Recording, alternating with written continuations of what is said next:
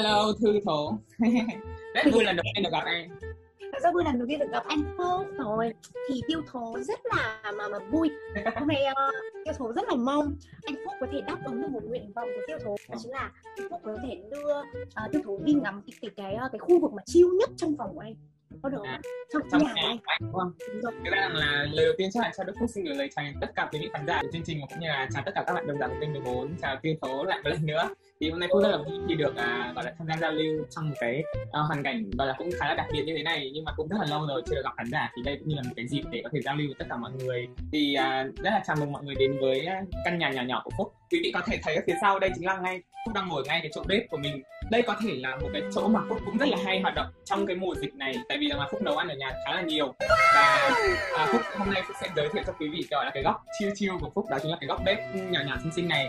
À, một phần là là Phúc rất là thích và một phần nữa là ngoài cả cái nhà thì có một cái góc này là gọi là sạch sẽ nhất. Còn lại tất cả vì thực ra thứ thư rằng là Phúc cũng đang chuẩn bị uh, mọi thứ trên cái khâu dọn dẹp để sau cái đợt dịch này thì Phúc sẽ chuyển sang một ngôi nhà khác à, nên là đây còn cái góc gọi là sẽ là sạch sẽ nhất để show cho tất cả quý vị khán giả xem. Thì bây giờ mời tất cả quý vị và mời tiêu tổ sẽ cùng đi xem cùng Phúc hồi hộp quá. Anh Phúc quá xuất sắc.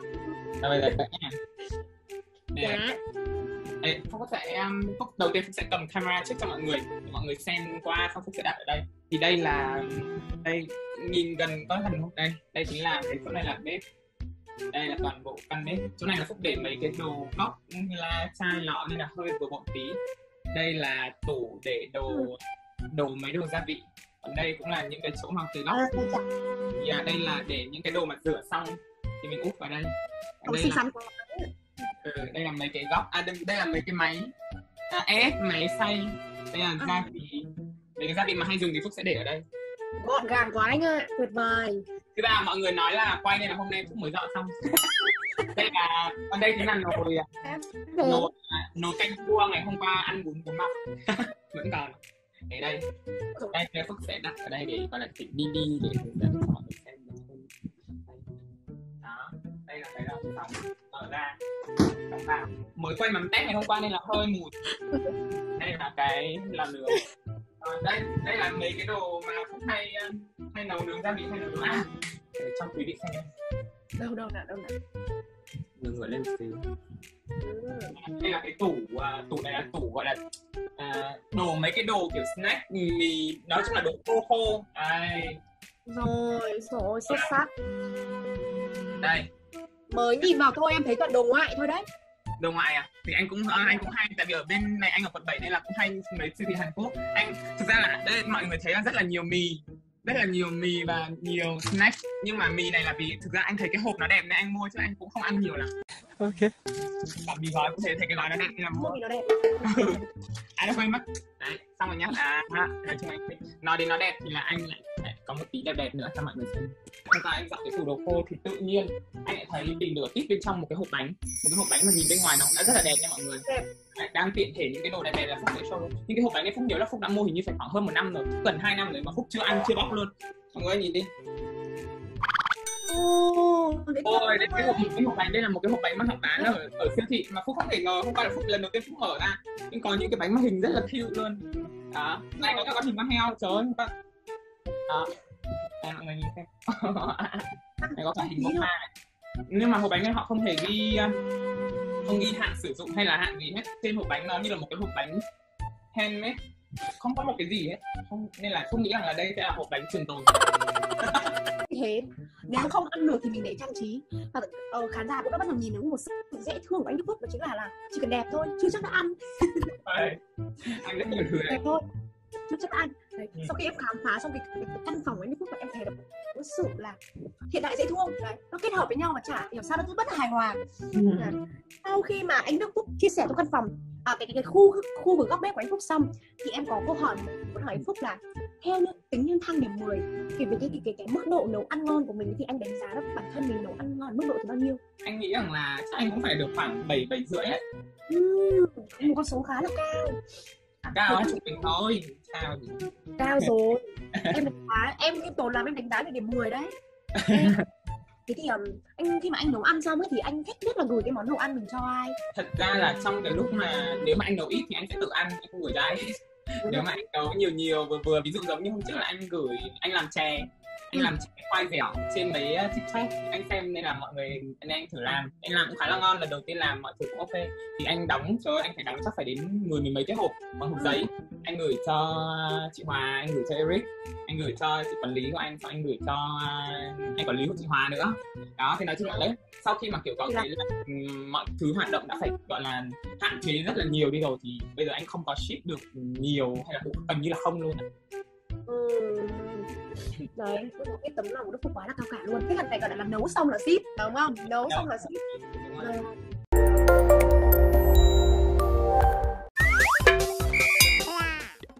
thì sau đây tiêu thú cũng sẽ uh, mang đến một thử thách vô cùng nho nhỏ cho Đức Phúc. Em để em giải thích trước cái thử thách này của em nha. Anh Đức Phúc sẽ phải chọn hai chọn một trong hai món đồ.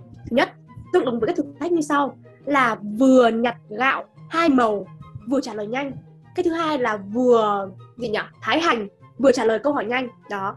Đây em đã có hai cái vật phẩm ở trên tay. Đấy. Là một chiếc hamburger ờ, đồ gặm của cuốn và một chiếc uh, xúc xích đồ gặm của cuốn. Đấy anh chọn đi. Hamburger đi. Anh thích hamburger hơn. Ừ, thích hamburger. Sau khi anh Đức Phúc chọn hamburger thì em cũng xin bật mí luôn. Thử thách của hamburger đưa ra là anh Đức Phúc phải vừa nhặt gạo hai màu vừa phải trả lời câu hỏi nhanh của tiêu thấu. Đấy còn nếu như trong vòng 2 phút anh Đức Phúc mà không trả lời hết tất cả những câu hỏi của tiêu thấu thì anh Đức Phúc phải tiếp tục lạc hành và trả lời câu hỏi. Còn lại Yeah. ok không ạ. À, anh Đức Phúc hiểu không? Bây giờ là bao nhiêu câu trên uh, bao nhiêu câu thì trong 2 phút thì thắng? 20 câu đi. Này trong vòng Thôi. 20 câu. Anh Đức Phúc trả lời đúng 20 câu. Trong vòng 2 phút. A few moments later. ok ok được không là phản ứng của anh Đức Phúc có nhanh nhạy không? Nào bây giờ anh Đức Phúc đã chuẩn bị những đồ nghề mà chương trình đã giao phó cho nào anh đã chuẩn bị ở đây và anh sẽ chỉnh ra. Thì anh đã biết là cũng có sẽ có thử thách. Nên anh cũng đã chuẩn bị được trước một xíu. Rồi đây. Anh anh có gạo bây giờ thì anh sẽ đổ gạo lên đây một xíu. Rồi nè. Bây giờ chúng ta sẽ bắt đầu vào thử thách lạc gạo. Bắt đầu câu hỏi thứ nhất.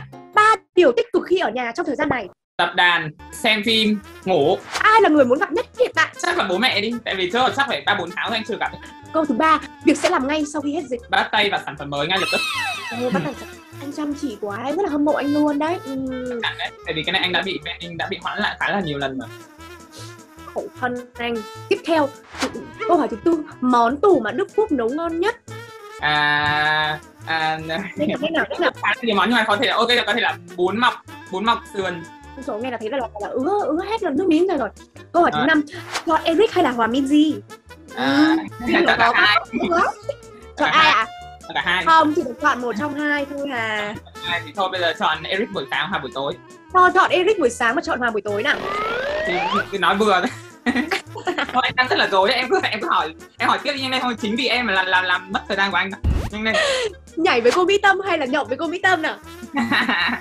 À, nhảy xong rồi nhá ba lý do mà ờ, cô Mỹ Tâm là cô giáo đình nhất đối với Đức Phúc. À, con người à, à, giọng hát là à, à, gọi là cái gì nhỉ? À, à, cái gì cái là như là một tấm gương ở trong nghề. Tiếp tục. Câu hỏi thứ 8 ôi dồi ôi mãi mới đến câu hỏi thứ 8 buồn thật đấy. Sao lại chọn lên em đọc lên. Câu nói nào của cô Mỹ Tâm khiến Đức Phúc cảm thấy sợ nhất? Sợ nhất à? Ừ. à, à, vậy, vậy, vậy. cô luôn luôn chốt lại bằng một cái câu rằng là khi nào mà con con hãy quyết định cái quyết định nào mà khiến con cảm thấy hạnh phúc và không cảm thấy hối hận với nó? Khi mà con quyết định theo như cái cái cái cái mà mình mong muốn như thế rồi thì con không còn gì để để phải phải hối hận nếu mà cho dù cái kết quả của nó có ra sao.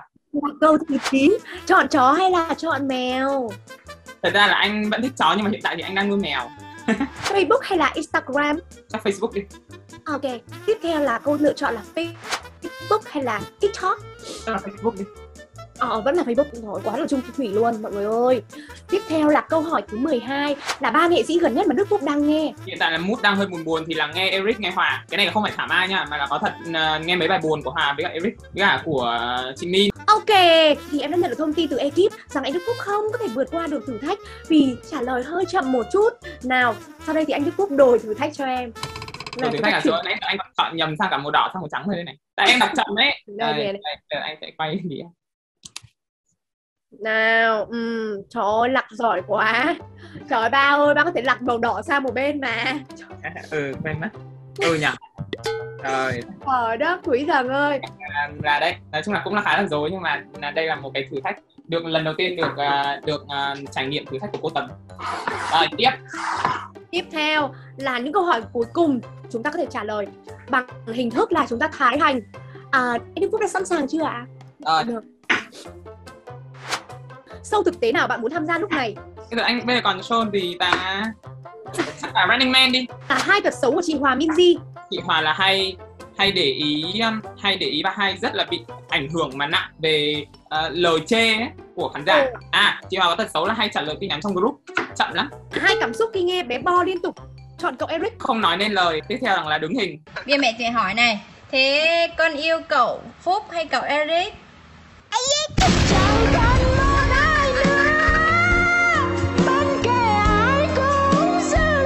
Nếu trên đời không có app chỉnh ảnh thì sao? chắc là trong điện thoại của Đức Phúc chả còn cái app nào nữa. Thì anh còn chụp ảnh nữa không? thì ra anh vẫn chụp thôi và anh là bị cái tay thích chỉnh á. Chứ thực ra là hình cũng đã ví dụ hình cũng đã ok rồi nhưng mà anh lại vì cái tay anh ngửa tay anh hay thích chỉnh cơ. À, ngửa tay là hay thích chỉnh Wow. Tiếp theo là câu hỏi thứ 18 Hiện Đức Phúc muốn collab với ai nhất? ôi má ơi ban đầu là thấy là có một sự ừm, chảy nước mắt gần gần. Anh khó quá anh chưa nghĩ ra được. Thôi anh à, với chắc là với cô Tân đi Đã bao giờ yêu điên cuồng, yêu cuồng nhiệt Chạy theo một ai đó chưa? điên cuồng cuồng nhiệt anh nghĩ rằng là anh nghĩ rằng là chắc là cũng ờ, điên cuồng thì không đến mức đấy cuồng nhiệt thì cũng không hẳn nhưng mà là nó cũng là gọi là là hết mình anh dùng từ hết mình Đã, đã từng tỏ tình với ai? Và nếu có thì phản ứng của họ như thế nào? Ừm, anh thì trộm thì Có. anh chưa tỏ tình anh chưa tỏ tình với ai cả. Anh chưa tỏ tình toàn là kiểu nếu thực ra tại vì anh cũng khá là trải qua khá là ít mối tình chắc cũng chưa chắc mới chỉ có một một hoặc là một nửa. Và và những cái đó là đều là kiểu cả hai người cùng để ý thì là cùng thôi chứ cũng không có tỏ tình đâu. Ừ. Là anh trộm, trộm biến là không bị ý như là không phải quay xe đó. Là tình yêu hay sự nghiệp bạn chọn gì? ôi mẹ ơi. Tức là chính là, là sự nghiệp sự nghiệp đi sự nghiệp. Nhiều sự nghiệp Tiền nhiều để làm gì ha? nhiều để à, đi du lịch để làm sản phẩm để làm những MV mà kiểu ví dụ mà nhận báo giá ba bốn tỷ cũng sẵn sàng ok Ừ. chơi luôn Ok luôn, đúng không? không Chơi luôn đúng rồi không phải làm gì không phải deal gì Là ngoại hình chiếm bao nhiêu phần trăm sự quan trọng trong cuộc đời bạn?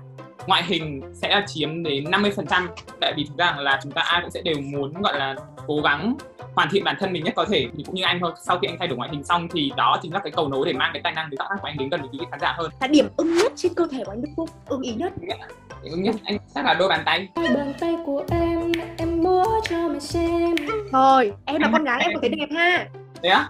Đẹp đó, ừ Đẹp đó. Fan của anh hay khen anh tay đẹp? Là ở nhà một mình hay là À không, ở một mình hay là chọn ở với người thân này hơi khó nha. Anh vẫn muốn là có một cái cái nơi ở một mình riêng nhưng mà người thân ở gần để mình có thể tiện. Anh Đức Phúc cho em hỏi cảm nhận là sau khi anh lạc hành, thái hành xong anh thấy sao? anh Vui thấy rằng là anh thấy rằng là cái hành này nó có một chút xíu sự đều nhẹ. Ở đây là anh không thể Đều đẹp Tức là không thể cay được. Anh nổi trong khi anh đã cố tình anh quệt lên mặt. Sau khi mà anh trả lời xong 25 câu trả lời xuất sắc Trải qua hai thử thách liền nhau Thì anh thấy anh nêu cảm nhận ờ, Sau khi mà tham gia chương trình thì như thế nào ạ? anh thấy đây là uh, chương trình khá là hay. Ý là đúng nghĩa là một sự uh, rất là giải trí gần gũi trong mùa dịch này. Thứ nhất là Ờ. làm cho nghệ sĩ cũng bớt buồn bã ở nhà. Thứ hai là, là có thể vừa giao lưu với mọi người mà lại còn vừa có thể nấu bếp được. Thế là hết rồi ạ. Hết rồi ạ? Coi là sao nhanh nhỉ? Nhanh nhở? Đây là một chương trình khá là thú vị. Chương trình mang tên là khách sao làm vậy đúng không? Hay á. em nghĩ rằng là à, chương trình sẽ thật là phổ biến thêm với nhiều nghệ sĩ nữa để cho quý vị khán giả có thể những giây phút thật là giao lưu à, vui vẻ và à, cảm ơn chương trình cảm ơn kênh 14 cảm ơn khách sạn làm vậy cảm ơn tiêu thụ. Yeah, cảm ơn mọi người rất nhiều.